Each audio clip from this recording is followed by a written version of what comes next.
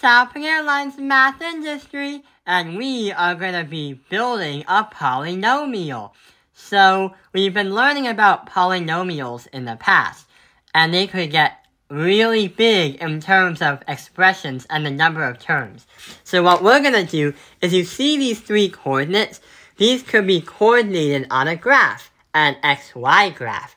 But we're to see what a polynomial would look like that would strike through these three things, or these three coordinates. So what we have to do is transform them, transform them into factors, which are the opposite. So, for this one, we're to say x plus 5, the opposite of negative 5. This one is going to be x minus 5. And this one is going to represent x minus 3. So here is what we're going to do. We have to FOIL it twice. So we have to multiply this and that once, then multiply what we get to that. I'm going to color code it. So the first thing we have to do is multiply these two factors, then bring it all the way down to here. Let's do the math. So what kind of thing would it help us with? So we have x and x is x squared. x times negative 5 is negative 5x. 5 times x is going to be 5x. Positive. And 5 and negative 5 is going to be neg negative 25. Okay, so the b's cancel out because we have a negative 5 and a 5. So we get x squared minus by 25. What about the next one? So the next one we're going to do is we have to still multiply it and FOIL it one more time.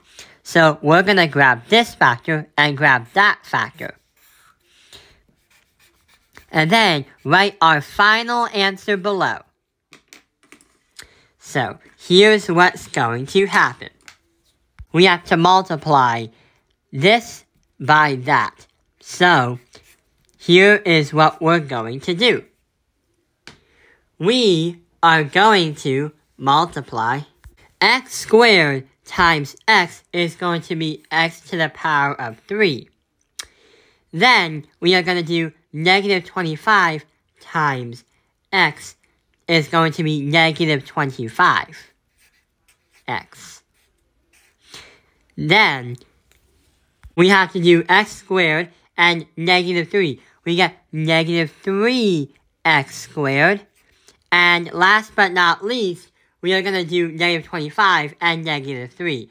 That is going to bring us to positive 75. So, yeah, we are done. We have built our polynomial. This answer right down here is going to be the polynomial that if you were to graph this on an xy plane or an xy graph, it would strike through these three x-intercepts or these three zeros.